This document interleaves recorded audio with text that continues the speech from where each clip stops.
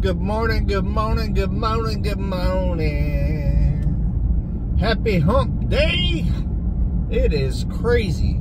I cannot believe it's already hump day again. Yeah, it's all right though. We about to get it in today. Had a busy, busy day yesterday. I had to meet with some contractors and stuff for a big project I'm trying to put together at work. Went well.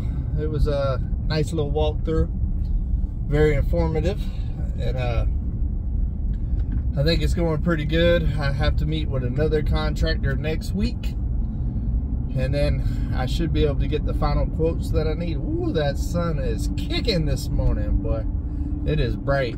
But man, what a beautiful, beautiful morning it is here right now. It is 57 degrees this morning as the sun is rising in, right here in Arkansas. The weather is crazy.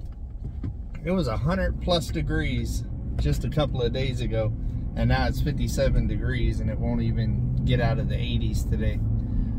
The only bad thing is is I'm getting great weather like this and I have to go to my 9 to 5 even though it ain't really 9 to 5 um, this week. Man I sure would love to be working on the mountain today with this beautiful weather I could get some stuff in for sure but it is what it is. Got to pay the bills. Got to pay the bills. Got to pay my telephone bills. I'm in a good mood this morning, even though I didn't get a whole lot of sleep last night. Eclipse uh, kept me up quite a bit last night. She was moving and she started whining late at night. Had to go to the bathroom, so I had to go take her outside to go to the bathroom. Kids, right? Kids. But and also, I think with the cooler weather or whatever, I think she's a little extra frisky. Just a little bit. But it's all right. I got enough sleep. I'm a robot. I can keep on keeping on. But it's already Wednesday. And now with my new work schedule, it is my Friday Eve. Because now that I'm on 410s, tomorrow will be my last day for the week. But man, we got a lot a lot that we got to get going because it is Freedom Weekend coming up. So there's a whole lot of preparation. Holy moly macaroni, boy, that sun is kicking this morning. Yeah, but we got a lot to do. We got to go get some fireworks, got food to deal with, got to do some cleanup because we got a whole lot of people coming from all around to Freedom Weekend.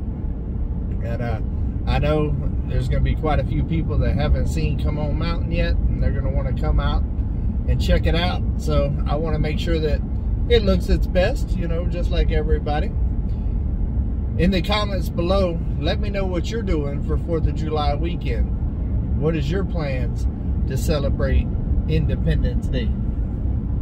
I love 4th of July. It's definitely one of my favorite holidays. I enjoy it um, it's always a good time. You always get to eat some good groceries and hang out with your people.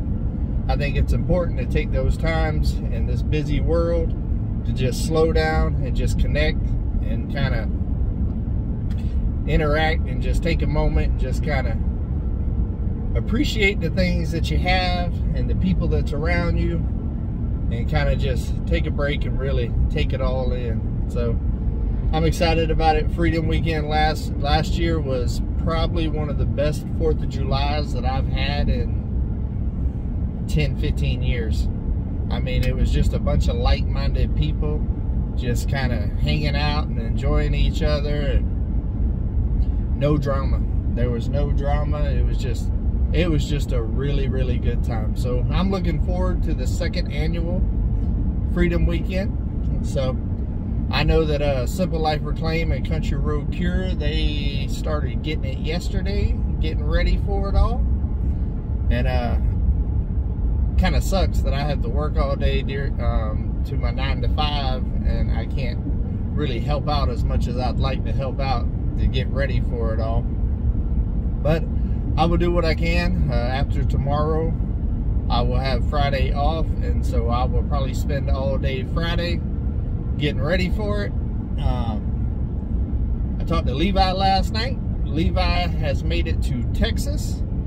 He's over there with Ian. and uh, he's gonna hang out with him for. Let's see here. Well, last night, today, tomorrow. I think he's coming to me Saturday morning.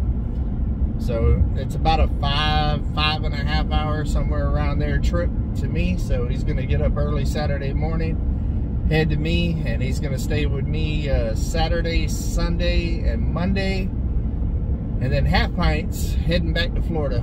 Uh, the job wasn't what he thought it was going to be, which I figured whenever he told me about the job. I, I didn't think that he would make the money and stuff that he was projecting. But uh, I felt like it was a good life experience for him to be able to go on a road trip and kind of spread his wings. His first little uh, cross halfway across the country kind of road trip with a couple of guys and friends and stuff to try to uh, go make money and all of that. So it's a good life experience. I, I felt like he needed it.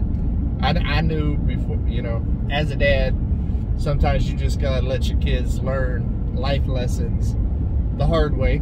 Um, I knew it wouldn't be that hard of a way, but and he was close to me, about three hours away, so that made me a little secure about the whole situation. But I wanted him to go get that life experience. I wanted him to take the trip, and you know, he's becoming a man. He, he's about to be 20 years old here in October, so I felt like it was a good life experience for him, and also to be able to see that you know sometimes if it sounds too good to be true, there's a lot of times it is. You know, I mean, most of the time, honestly.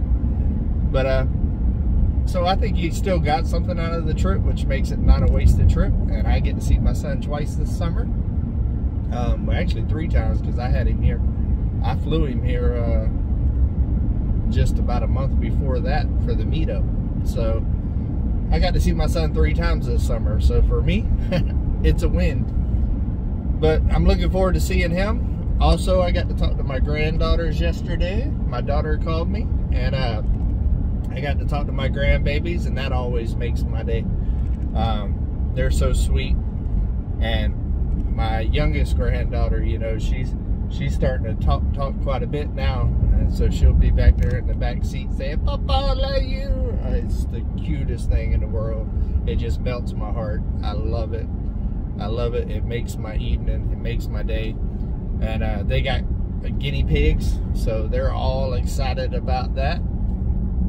And uh, they're enjoying their summer, so it means a lot to me. I can't wait to actually uh, be able to sneak away for a minute and actually come see them. So I'm going to try to do that probably towards the end of August.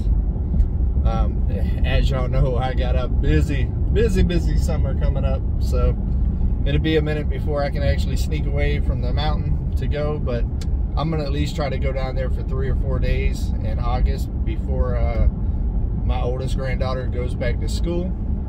And I will see my family down there. I will see my daughter, my grandkids, my son, and all of that. And just take a couple of days, take a break from the project because it'll be in full swing by the, you know, towards the end of August. So it'd be a nice little break for me to just kind of refocus, regroup. You know, I'm, I'm sure I will have dealt with a lot of adversity and, uh, you know, that whole renovation roller coaster that you always go through because it never just goes 100% smooth. So I'm sure it'd be a good mental break for me to just be able to go hang out with my grandkids and kids and just kind of get away from it all for a couple of days. So I'm gonna make that happen. I'm probably gonna try to book the ticket here soon because who knows what prices will be by then. They might be down, but uh, it ain't looking good.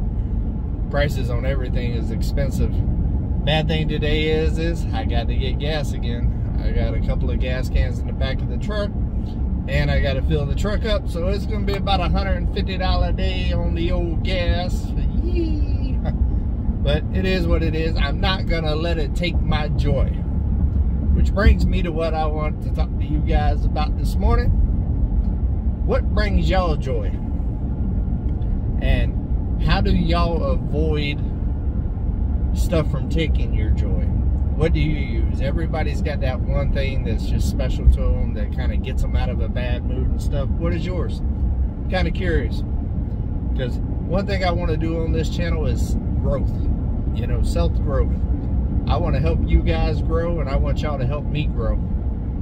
And uh, so I kind of like this uh, channel right here. It really, really allows me to feel like I got a great connection with you guys. And uh, I get to hear all of y'all's uh, comments and stuff and suggestions and stuff with stuff like we're talking about right now. And also, how many of y'all, besides the ones that's already commented, but feel free to comment again, how many of y'all actually did your homework and actually organized a spot in your house, whether it be something in your yard or your car or, closet or your kitchen or your bedroom or your living room or whatever. How many of y'all actually did that? I know several of y'all have. Um, y'all put it in the comments, and that is awesome. Um, just, I, I guess I'm checking in to see if y'all did y'all's homework, and then let me know also uh, how it made you feel and how your week's been since you done that. Do you feel like you're more productive? Do you feel like you're more positive? And all of that other stuff. Because you know what? We really need to start being more positive. We need to start being more positive and uh, try to find the positive in what we got going on because it's hard times right now for a lot of people. Really, this country, honestly. And uh, we need to dig deep and find those positives in our day to day lives. And in turn, will kind of internally help us find our joy.